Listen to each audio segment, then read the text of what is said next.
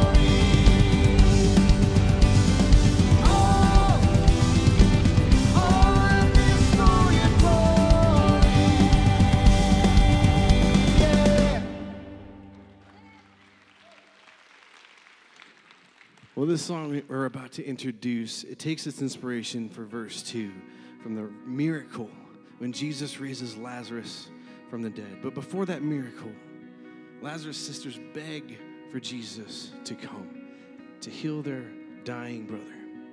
But Jesus doesn't come right away. In fact, when he finally arrives, Lazarus has been dead and buried for four days. And Jesus, in his grief, weeps. The sisters are frustrated and disappointed. But here's the beautiful truth in that.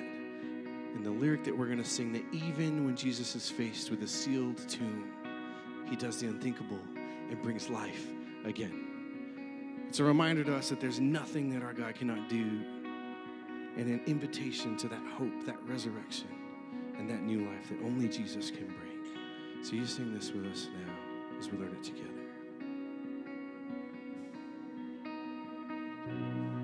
May I never lose the wonder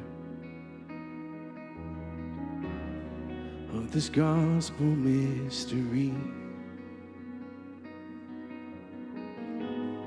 From the heavens came a Savior. From the ground arose a King. And every day is born in darkness. And even winter yields to spring. So let us speak of resurrection. Even in the suffering. You sing this with me. You can do anything. You can do anything. My eyes will see your glory. My eyes will see your glory. You can do anything. You can do anything. My eyes will see your glory. My eyes will see your glory.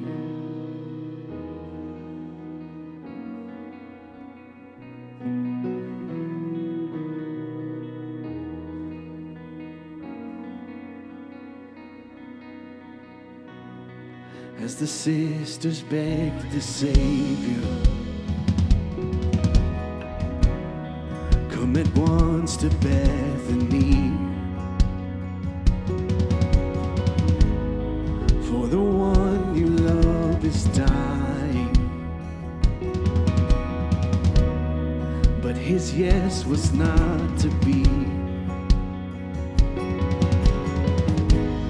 As his weeping the question Could his friend he not have healed?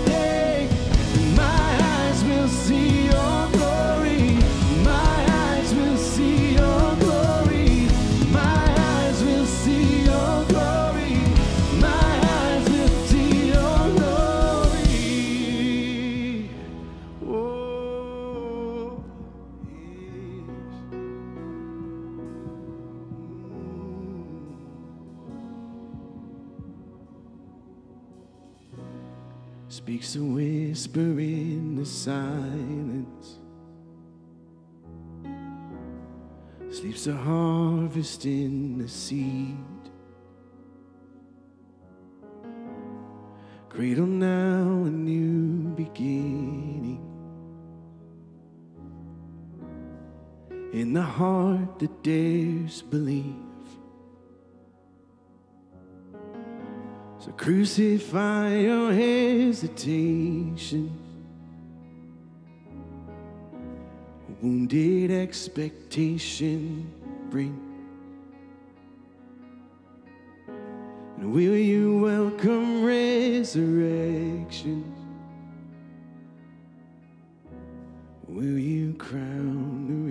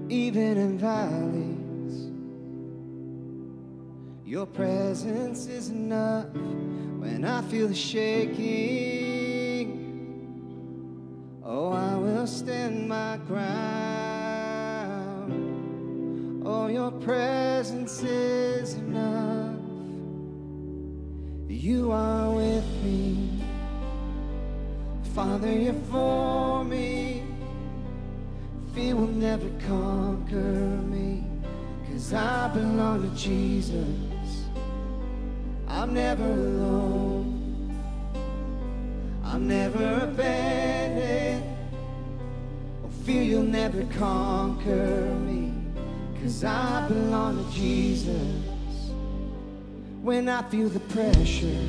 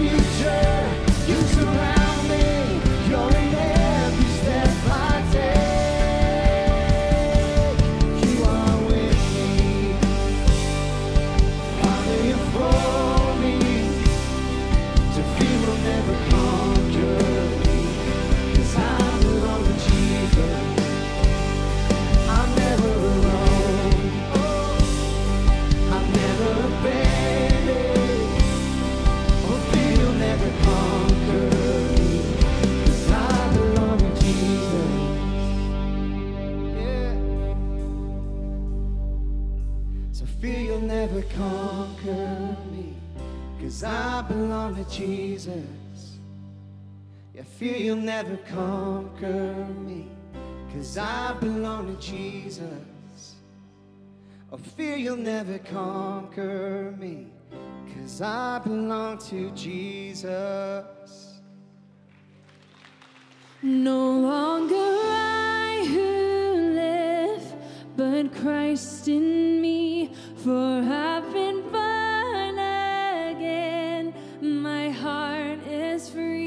the hope of heaven before me, the grave behind. Hallelujah, you've brought me back to life.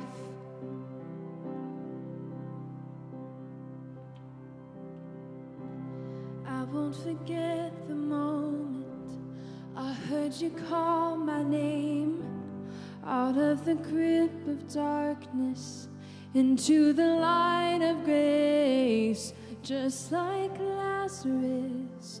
Oh, you brought me back to life. And where there was dead religion, now there is living faith.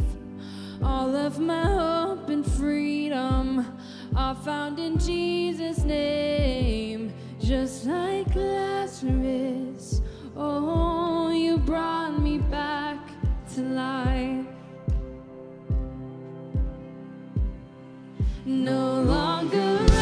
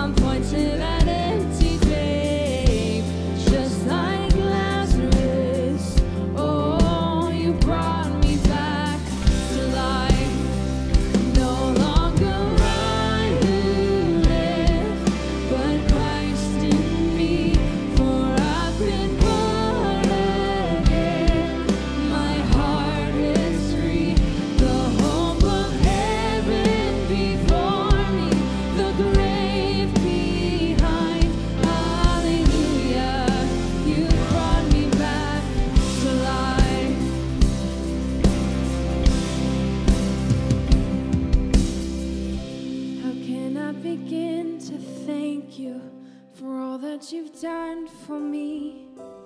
Jesus, to fully praise you, it won't take all eternity, just like Lazarus.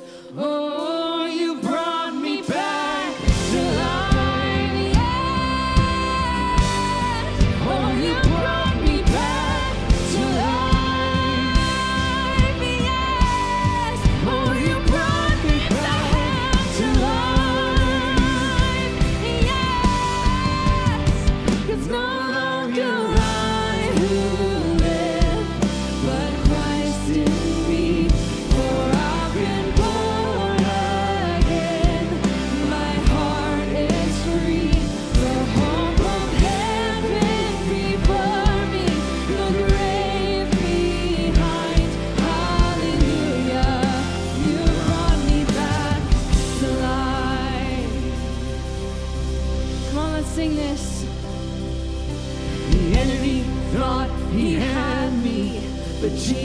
Said you are mine.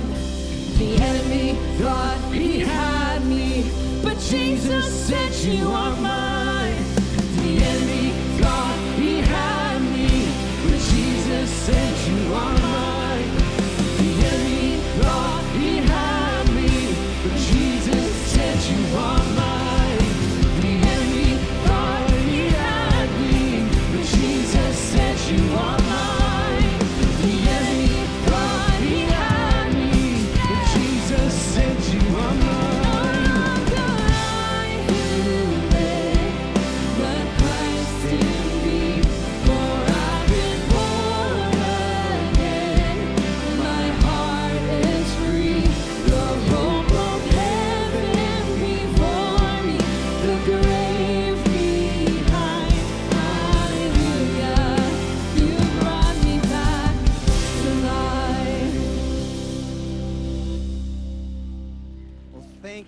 Much for singing with us. You sounded great.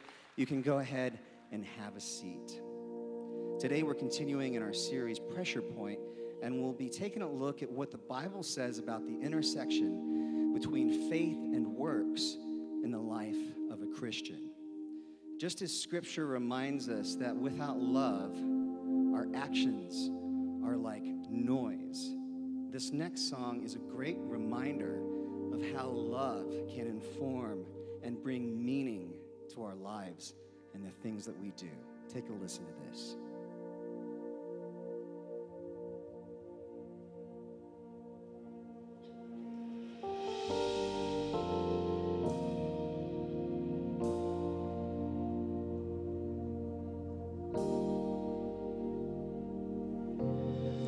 Could write a melody that all of heaven's choir sing.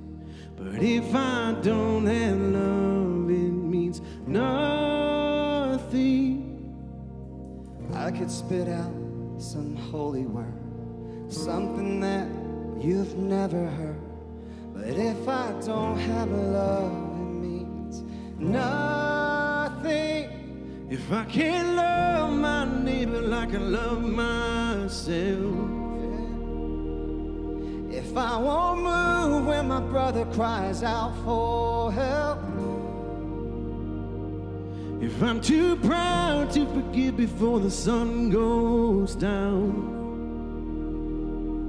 then this life that I've been living, what does it mean now? At best, it all means nothing. Without love, it all means nothing.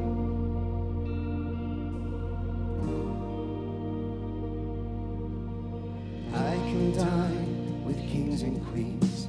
My name go down in history. But if I don't have love, it means nothing. So take the old and make me new. Show me how to love like you. Cause if I don't have love,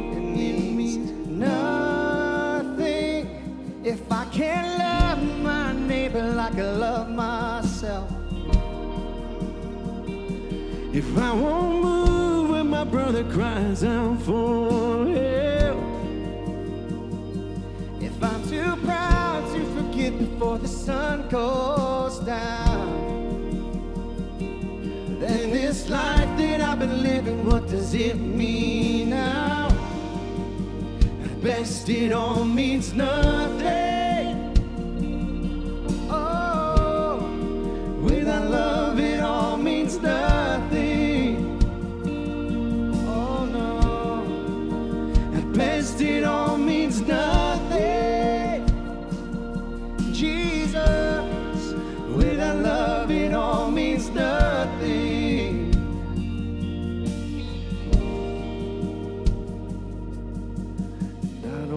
Sound like a crashing cymbal. And I don't wanna be some empty noise. I'm down on my knees, Lord, I surrender. Help me to love with a love like yours. And I don't wanna sound crashing cymbal.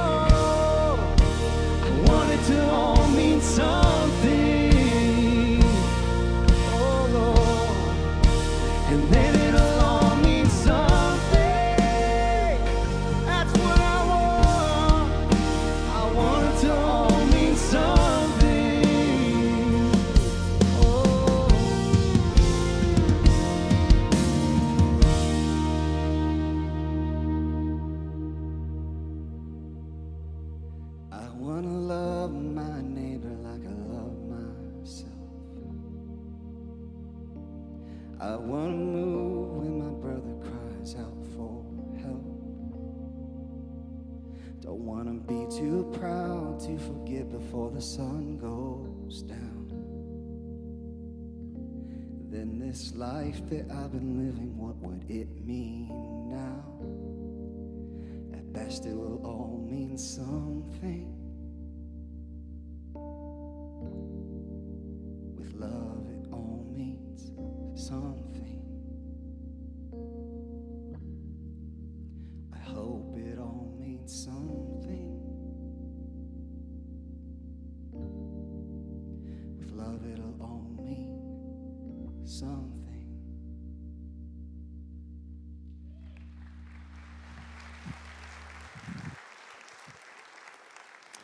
Let's pray.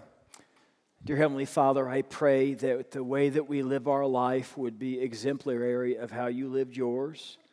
Lord, you tell us that men will all know that we are your disciples by the way that we loved one another. And Lord, we are supposed to be the most loving, giving, selfless people. There's supposed to be evidence that we are who we say we are. And so, Lord, I pray in these next few moments as we open up your word that we would do some examination to see if there is enough evidence to convict us of the fact that we are truly a followers of yours. Because, Lord, we do not want to deceive ourselves in any manner, shape, or form. So, Lord, I pray that we would have great attention, that you would give us eyes to see and ears to hear your truth, and that we would leave this place knowing whether or not we are who we claim to be. I ask this in Jesus' name. Amen. I want to welcome everybody here today and those who are watching us on the stream and on TV. I also want to welcome those who are watching us in the different jails that we minister to, to those who are incarcerated. We're glad that you're a part of the Sagebrush family as well. Let me start off our time together by telling you a little story. There was a grandson, he went to go visit his grandfather. Grandfather was 90 years old, lived in the middle of nowhere. Well, he got there late one night. Next morning, he got up, and Grandpa had gotten up and made some eggs and some bacon, so they had breakfast together. And as they were eating the eggs and the bacon, the grandson kind of looked at the plate and kind of saw a film that was over the plate. He said, Grandpa, is this plate clean? And Grandpa looked at him and said, As clean as cold water can get it. And so he thought, all right, that makes sense to me. Well, later on, they had lunch together. They were eating hamburgers. And it appeared that on the edge of the plate, there was some of the egg that maybe they had had that morning. So he asked again. He said, Grandfather, I hate to ask you again, but are these plates clean? And Grandpa got a little irritated. He said, Boy, I already told you they're as clean as cold water can get them. He said, Well, all right. Well, that night we were thinking about getting some food. And she said, Let me go to the town, Grandpa, a few miles away, and I'll bring some dinner back to us. Grandpa thought that was a good idea. But when the grandson tried to exit to, the, to get into the car, the grandpa's dog was there barking and growling at him. He said, Grandpa, the dog won't let me by. Without missing a beat, Grandpa said, Cold water, get out of the way. That's funny right there. I don't care who you are. That's hilarious. Sometimes we miss it by about that much, don't we? Well, friends, the things that we're going to talk about today, I don't want you to miss because the difference that we're talking about today is your eternal life or your eternal death. You see, there are a lot of people who go to church all across the world who claim to be followers of Jesus, who aren't really followers of Jesus. And there's going to be a day that they're going to be surprised when Jesus looks at them and says, I don't know who in the world you are. So we're going through the book of James, and this is the next section of scripture. This is what James is going to address. Remember, it's all about the behavior of a Christian. He says it's not enough to say you're a follower of Christ, there has to be evidence to prove the fact that you are who you claim to be. Let's look at it. This is James chapter 2, verse 14. He says, What good is it, my brothers, if a man claims to have faith, but he has no deeds? Can such faith save him? Suppose a brother or sister is without clothes and daily food. If one of you says to him, Go, I wish you well, keep warm and well fed, but does nothing about his physical needs, what good is it? In the same way, faith by itself, if it's not accompanied by action, is dead. Now, when a person reads this passage of scripture, the first thing they think is, well, I have to be a good person to go to heaven, right? Because faith isn't enough. There has to be accompanied with action. And that's what most people believe. They think when they go to heaven that, that oh, they're going to be able to brag about their goodness, and their goodness is going to get them to go through the pearly gates, right? It's based on what you do rather than what Jesus did for you. There was a Reader's Digest article, true story, about a guy by the name of Bill. In the article, as I read it, it talked about how Bill had donated 100 pints of blood over the course of his life. Now, no doubt that's going to help a ton of people along the way, and that's a very kind act of service. But what was interesting about the article was the motivation behind why he did what he did. This is what he said He said, When the final whistle blows and St. Peter asks, What did you do? I'll just say, Well, I gave a hundred pints of blood. That ought to get me in. Friends, if Bill is counting on a 100 pints of blood to get him into heaven, he's counting on the wrong blood. The blood of Jesus is what washes away our sin. You can't be good enough to get to heaven. You just can't be. Your goodness is but filthy rags. When you get to heaven, it won't be because you were good, it'll be because He was good. It won't be because of anything you've done, it'll be because of what He did for you. Friends, we are saved by grace through faith. Isn't that what the Bible says in Ephesians chapter 2, verse 8? For it's by grace that you've been saved through faith. But say, wait a second, wait a second. We just read a passage of scripture that faith by itself, not accompanied by action, that's not real faith either. So which is it, Todd? Are we saved through faith or are we saved through faith and actions? Sounds like these two things are contradicting each other, doesn't it? Well, not if you understand the context of what's being written. You see, when Paul writes to the church of Ephesus, he's dealing with the issue of legalism. There were people that were coming to the church and they were saying, Listen, I think it's great that you put your faith in Jesus, but you also need to obey the Old Testament law. And so when Paul writes about that we're not saved by works, he's talking about the Old Testament law. You're not saved because you're circumcised. You're not saved because you obey religious holidays or have dietary restrictions. You're saved by faith in Jesus and Jesus alone. So Paul's issue is legalism. Ready for James's issue? It's laziness. It's laziness. He's got people who say, well, we believe in Jesus, so it doesn't really matter how we live our lives. See, they both use the word works, but they use it in two different ways. Paul uses the word works in regards to the Old Testament law. James uses the word works as acts of love that flow out of a person after they've given their life to Christ. Let me show you this little chart, maybe it'll clear it up for you. For Paul, he's focusing on the root of our salvation what happens to us internally, how to know if you're a Christian. But for James, he's focusing on the fruit of your salvation, the evidence of your salvation, what happens on the outside. He's trying to help you to show that you are a Christian. And of course, Paul and James say the exact same thing. If we look at this in Ephesians 2 8 through 10, says, It's by grace you've been saved through faith, and this isn't of yourselves. It is the gift of God, not by works. Now you know what that means the Old Testament covenant, the Old Testament laws. It's not by that, right?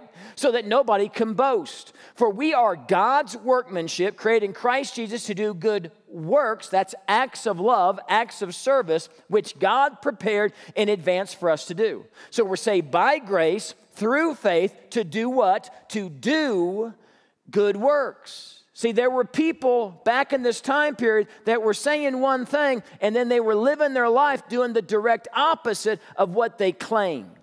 And so that's the first thing that James wants to address here. He's saying here that true faith is more than just words. Write that down if you're taking notes. He says, What good is it if a man claims to have faith, but his life doesn't back up his claims? Just because a person claims to be a Christian doesn't mean that that's true. And we know that Jesus himself in Matthew chapter 7 said there's going to be lots of people who claim to be followers of him, but he never had a relationship with them. Some of the scariest words of Scripture are found in Matthew chapter 7. Jesus said, Not everyone who says to me, Lord, Lord, will enter the kingdom of heaven, but only he who does the will of my Father who's in heaven. Many will say to me, Many will say to me on that day, Lord, Lord, did we not prophesy in your name, and in your name drive out demons and perform many miracles? Then I will tell them plainly, I never knew you. What does that mean? I never had a relationship with you. I didn't walk with you. I didn't talk with you. I didn't do life together with you. Away from me, you evildoers. So James says there's going to be some people who claim that they have a relationship with Jesus, who claim that they follow Jesus, who never got around to actually following Jesus. And on this day of judgment, they're going to be surprised when he says, Away from me, you evildoer. You see, just because you say words doesn't mean that you back those words up with action. I mean, you, anybody can claim to be anything, right? My, my, my goodness, I can claim right now to be a cow, couldn't I? I'm a cow. That's. I'm a cow. That, that's what I'm going to be. I'm a cow. So I'm going to moo like a cow. I'm going to go out to the pasture. I'm going to eat grass like a cow. I'm a cow. Friends, just because I say I'm a cow doesn't make me a cow. Do you understand what I'm talking about right now? Let me try to illustrate this another way. I got Luke out there. Luke, where are you at? You out there?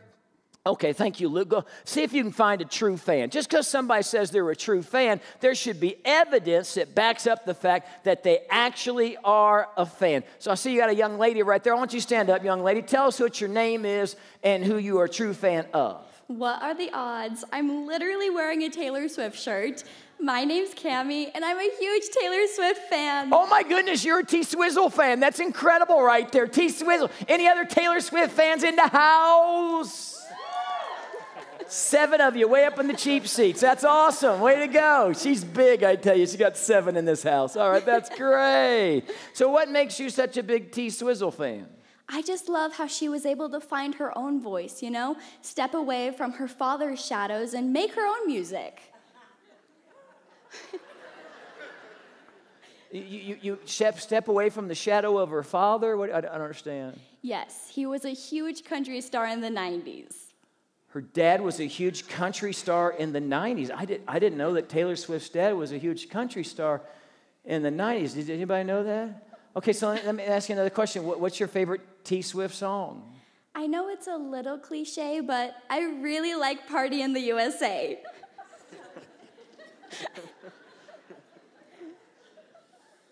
Party in the USA? Yes, That's my jam. yes. You put your hands up, playing my song, butterfly fly away. Moving your head like, yeah. Shaking your hips like, yeah. I know that song. yes. But wait, wait, wait, wait, wait, wait, wait, wait, wait, wait, wait, wait a second. That is not a T Swift song. That's a Miley Cyrus song. And her dad was a 90s country singer named uh, Billy Ray Cyrus. You're no T Swift fan. Sit down.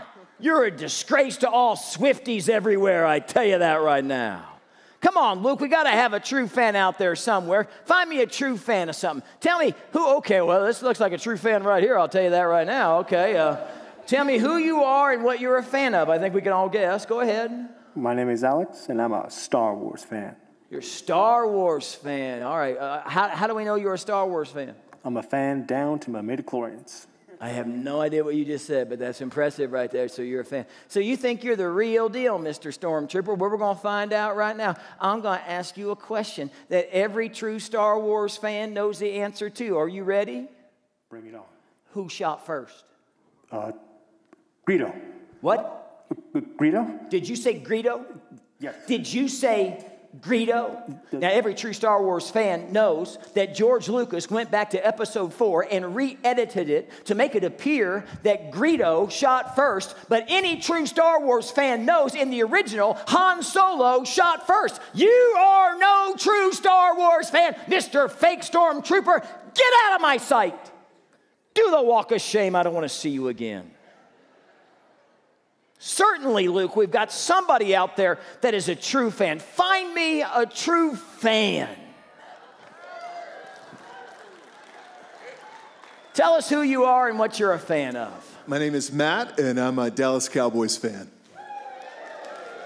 Yes. It's the first step in getting help, Matt. That's great. so that's out of curiosity. You know, you got the jersey on and stuff. I'm sure, you know, you, what made you a Dallas Cowboy football fan?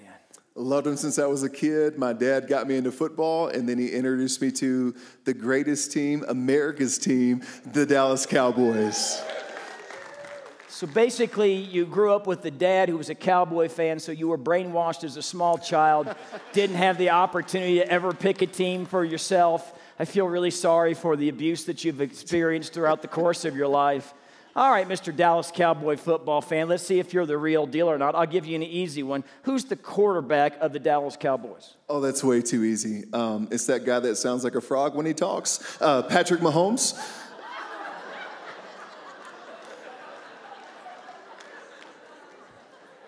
So you're saying why did you add the frog thing? That's what I want to know. I had to. I So had you're to. saying that my quarterback, Mr. Mahomey, Yes. the guy who just has won two Super Bowls in the last four years, who happens to be the quarterback for the Kansas City Chiefs, friend, you are no Dallas Cowboy football fan. You do the walk of disgrace. Get out of my face. Can we have a round of applause for the three people I just abused? I appreciate that. You, you understand the point? There needs to be evidence that you are who you claim to be. Let me show you what I'm talking about. Take a look at this.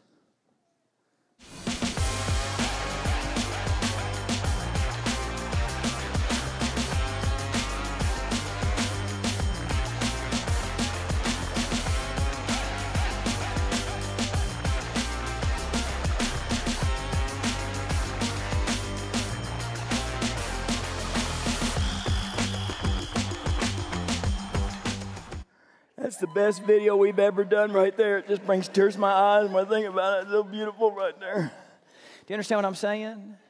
So you claim to follow Jesus. Uh, Can someone say what evidence there is that you actually follow him other than you go to church occasionally?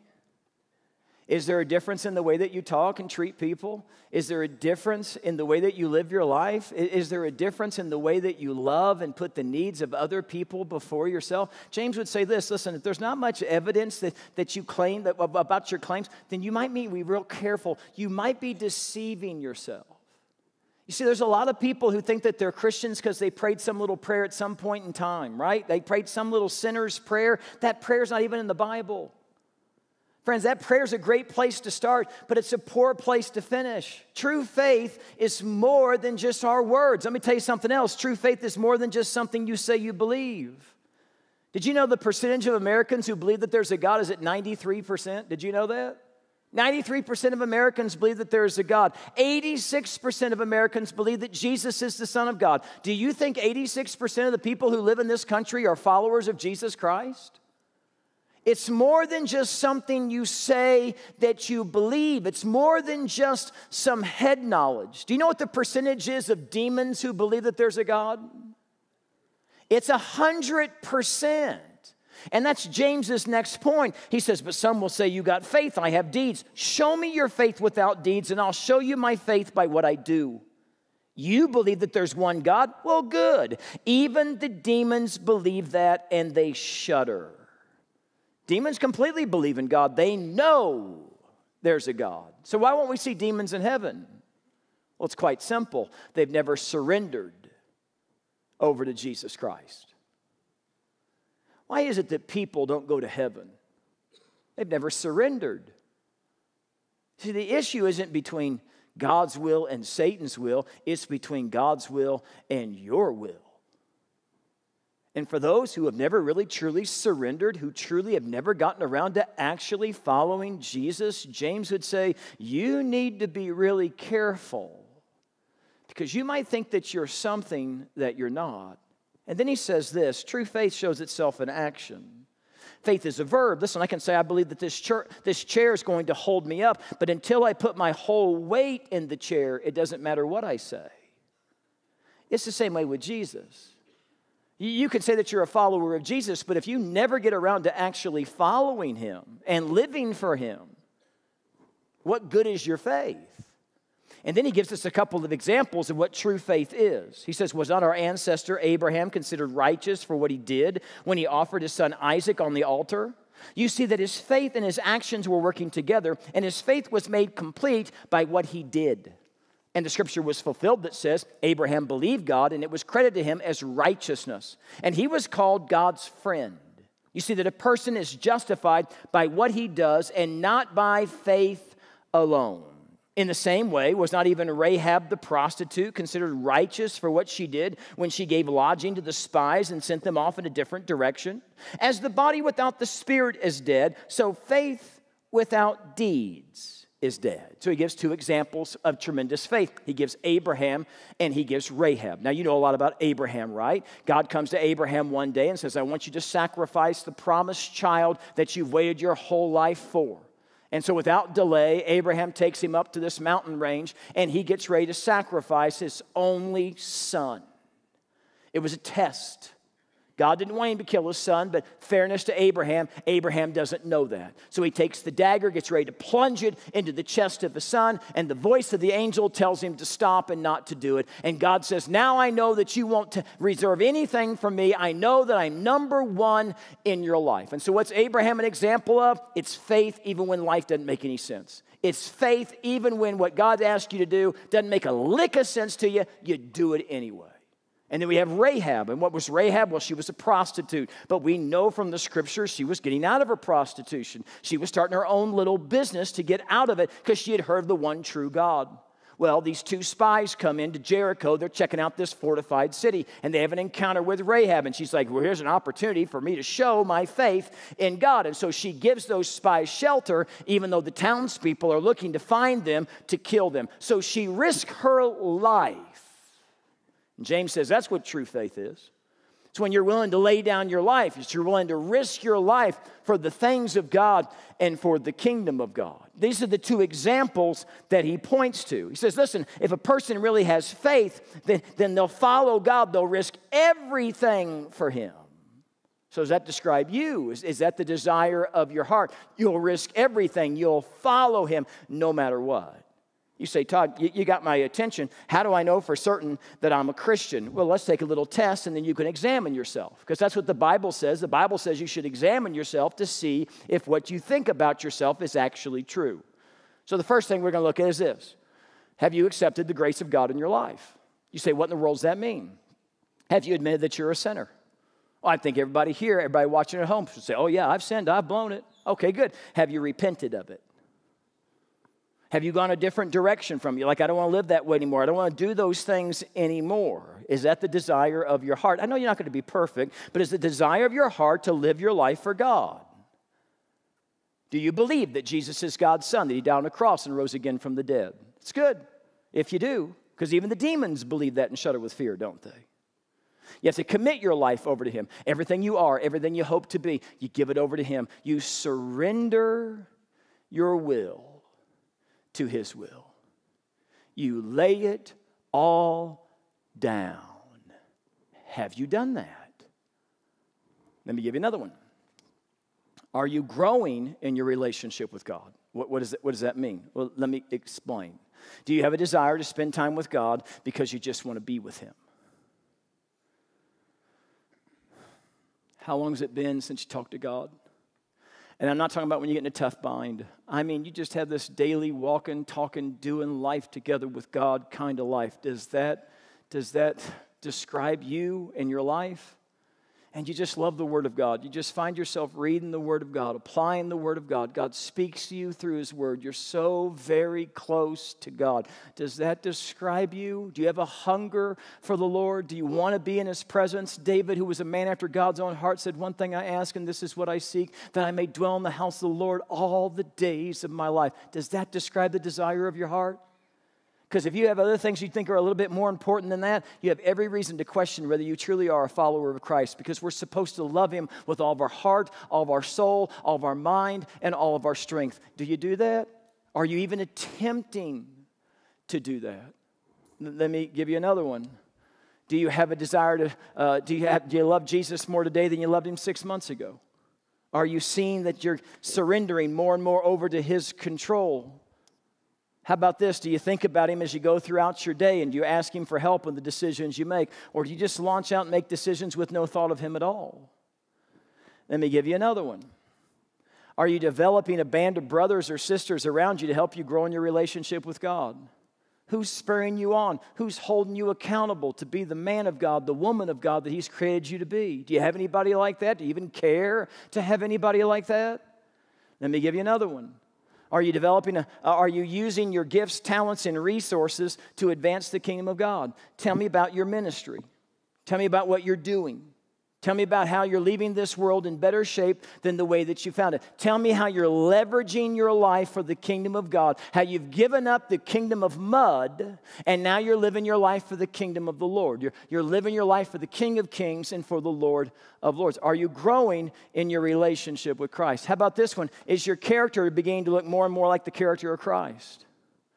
We're supposed to be more loving, more patient, more joyful, more kind Are, are, are those things in abundance in your life? When you look at your life and you see when you gave your life to Christ and where you're at today, are you more loving than you were back there, more kind than you were back there, more patient than you were back there? Those things are called the fruit of the Spirit. That's evidence that you are who you claim to be. Is that true in your life? Let me give you another one. Are you uh, sensitive to sin to the point of repentance? There was this girl, she was at church, and at the end of the service, everybody else was heading out the door, and she was walking down and she was crying. And the pastor at the front stopped her and said, What's going on? And she said, I'm so upset. He said, What's the matter? She, he said, she said, Well, a few months ago, I gave my life to Christ. But last night, I, I spent too long uh, at this party, and I, and I was over by the punch bowl, and one drink led to another, and I, I got drunk. She said, I guess I'm not a Christian. And the pastor said a very wise thing. He said, No, I think that's an evidence that you are a Christian. She said, What do you mean? He said, Before you gave your life to Jesus Christ, did you party a lot? She said, Oh, yeah, it was just a way of life. He said, Did it ever bother you before? She said, No. He said, But here you are. You went against the flow. You walked all the way down with tears streaming down your face. You said, I did evil in the eyes of the Lord. I need to get things right. That's evidence of the Holy Spirit of God living inside of you. So that's the question. When you blow it, when you're doing something you know you shouldn't be doing, do you feel conviction for that? Or you just keep on having habitual sin as if nothing, that's not that big of a deal? And if that's you, you have every reason to doubt whether you truly are a follower of Jesus. Let me give you another one. Do you tell others about your faith in God? Matthew 28 19 and 20. There's the Great Commission. That's for all of us. It's not for some of us. We're supposed to go. We're supposed to teach. We're supposed to preach. We're supposed to baptize. We're supposed to share the most important thing in our life. So, how long has it been since you talked to somebody about Jesus? How long has it been since you invited somebody to church? See, we say we're followers of Jesus, but have we actually gotten around to actually following hard after Him? Here's the big question if I put you on trial, would there be enough evidence to convict you of what you claim to be? And if there's not, what are you going to do about it? You see, being a Christian is someone who says, whatever you want's what I want. And then when God says, this is what I want, they go and they do it. Whatever you want me to say, that's what I want to say. Whatever you want me to give up, that's what I want to give up. Whatever you want me to surrender, I will surrender it. I'm just in it for you. I want to follow you. I want to serve you. I want to love you. I want to know you. For a true Christian, you know what the goal of their life is? Is to one, one day hear Jesus say, Well done, good and faithful servant. There's going to be a day you're going to die. People are going to come to your funeral. What will they say about your life? More importantly, what will they say about your relationship with Jesus? Will there be anybody at your funeral saying, Well, I wonder where he's at? I, I went to church occasionally, but I, I don't know. I mean, I hope he's in heaven. I, I, I couldn't really tell you by the way he lived his life, though. Is anybody going to say that about you? Maybe a better question to ask is this Will there be anybody at your funeral that will say, That's the godliest person I ever met? Never met anybody who loved God more than that person. And God used that person to impact my life. I am who I am today because of their godly influence. Will there be anybody at your funeral that says that? Friends, we are in it. He is the King of Kings and He is the Lord of Lords, and He is worthy of everything we've got. He's worthy of our very best. Do you believe that? Do you know about Him? Or do you know Him? Does He mean everything to you? And have you laid it all down before Him? And if you haven't, I'm going to give you an opportunity to do that today. Let's pray. Lord, it's easy to be deceived into believing something is true of us that just simply isn't because there's just absolutely no evidence to back up that claim. And Lord, I know that these next few moments, what I'm going to ask people to do is going to be difficult. because it's an admission that they thought they were one thing, but then they realized because a result of your Holy Spirit that they don't know you and that they need to give their lives to you. They need to let go and let you do what you want to do. They've been fighting you for a long, long time saying they're Christian. But the truth of the fact is, they don't know you. But today, Lord, that could change. Lord, for those of us who already know that we're not, I pray that we would understand the cost and the sacrifice that you made. We would understand that when you say that to be followers of yours, we must take up our cross, deny ourselves, and follow you. Lord, that we would weigh the cost. And that when we make a commitment to you, you expect us to follow through. Or the commitment isn't worth anything. So, Lord, for anyone who's confused, for anyone who's unsure, for anyone who right now feels you, hears you pounding on the door of their heart, I pray, Lord, they'd swallow their pride, they'd humble themselves before you, and they wouldn't leave this place until they've gotten their life right with you. I ask this in Jesus' name. Amen. If that describes you, friend, we have an opportunity. Pastors are here at the very front. We're going to sing a song.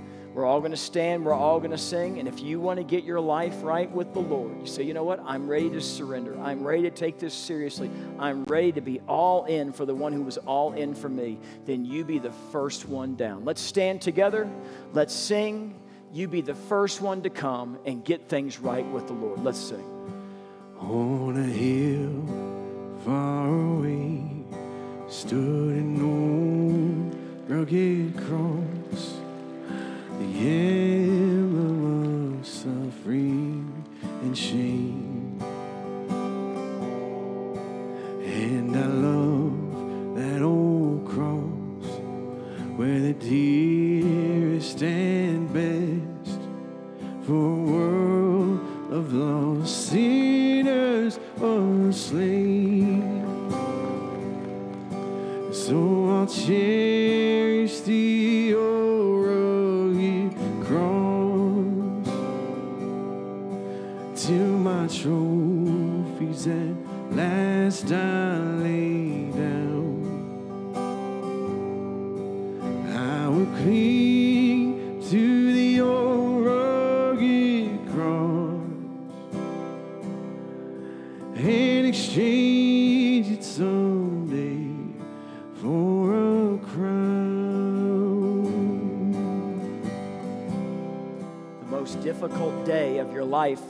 Be when you finally come to terms with yourself and who you truly are and who you truly want to be.